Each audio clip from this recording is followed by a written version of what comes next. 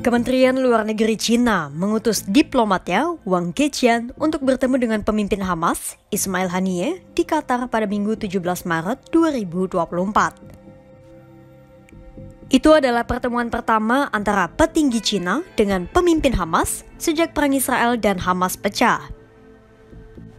Dalam pertemuan itu, keduanya khusus membahas konflik yang terjadi di Gaza.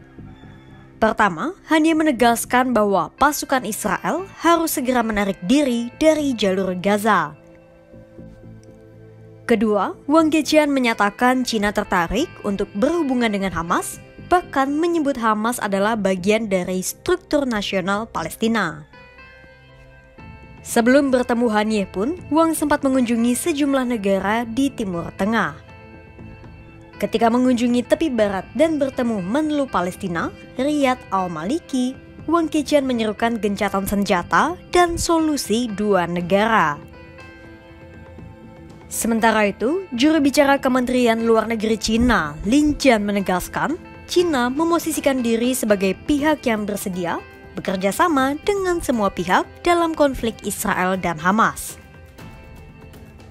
Dengan memosisikan diri sebagai pihak yang netral, China pun mendukung upaya pembentukan negara Palestina yang berdaulat dan merdeka sebagai solusi dari krisis dengan Israel.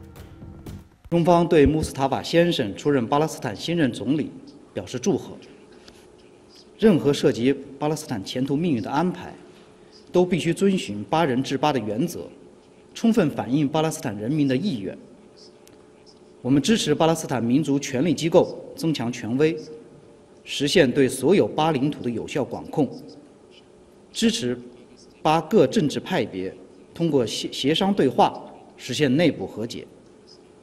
中方愿同各方一道，为缓解当前紧张局势，推动巴勒斯坦问题重回两国方案正确轨道，贡献力量。